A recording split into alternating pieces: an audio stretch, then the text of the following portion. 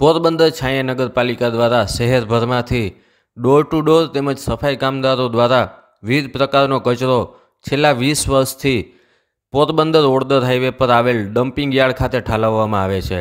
Dumping yard ખાતે આ કચરાની નિકાલ કરવામાં આવે તેમજ કચરામાંથી મશીન દ્વારા સોર્ટિંગ કરી કચરાનો નિકાલ થાય તે માટે પાલિકા દ્વારા સ્વચ્છ ભારત મિશન ગ્રાન્ટમાંથી રૂપિયા છ કરોડના ખર્ચે કોન્ટ્રાક્ટ આપવામાં આવ્યો છે. ડમ્પ સાઇટ રેમિડેશન એટલે કે લેગેસી વેસ્ટમાંથી આધુનિક મશીન દ્વારા પ્રોસેસ કરવામાં આવી રહ્યો છે. ડમ્પિંગ યાર્ડ ખાતે એકત્રિત થયેલ અંદાજિત બે લાખ ટન કચરાનો નિકાલ કરવામાં આવશે અને આધુનિક મશીન દ્વારા આ કચરામાંથી લોખંડ, પ્લાસ્ટિક, કપડાં, પથ્થર, ખાતર, માટી અલગ થઈને નીકળશે અને જે પ્લાસ્ટિક નીકળશે તેને પ્રોસેસિંગ કંપની ખાતે મોકલી દેવામાં આવશે તેમ પાલિકાના ચીફ ઓફિસર ગૌરાંગ પટેલે જણાવ્યું હતું.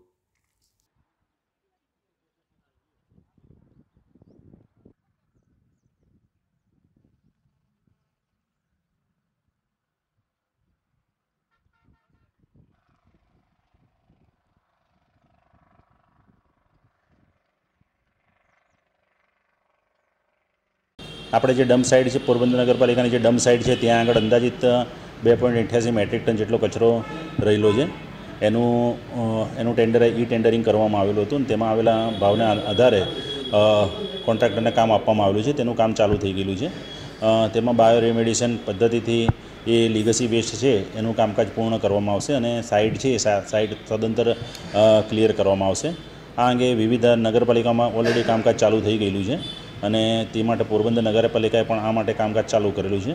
એટલે એ બાજુ આસપાસ જે કચરો ભેગો થઈ ગયેલો છે, એને સાદી ભાષામાં કહીએ તો ચારણા પદ્ધતિથી ચાળી અને તેમાં જે કચરો હશે એ કચરામાં એક બાજુમાં ખાતર અને બીજી બાજુ જે પ્લાસ્ટિક વેસ્ટ આવશે તે પ્લાસ્ટિક વેસ્ટને સિમેન્ટ ફેક્ટરી અથવા તો અન્ય જગ્યાએ આપવામાં આવશે. અને જે જે માટી કે એવું ભેગું થશે, તેનું ખાતર બનાવી અને ખાતરનું ખાતર તરીકે નિકાલ કરવામાં આવશે.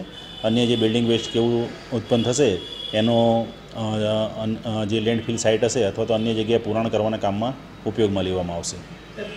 અંદાજે લગભગ છ કરોડના ખર્ચે કામકાજ થઈ રહેલું છે અને તેના માટે હેલ્થ ઓફિસર છે, નગરપાલિકાના ઇન્ચાર્જ હેલ્થ ઓફિસર અને અન્ય કર્મચારીની જવાબદારી સોંપવામાં આવેલી છે.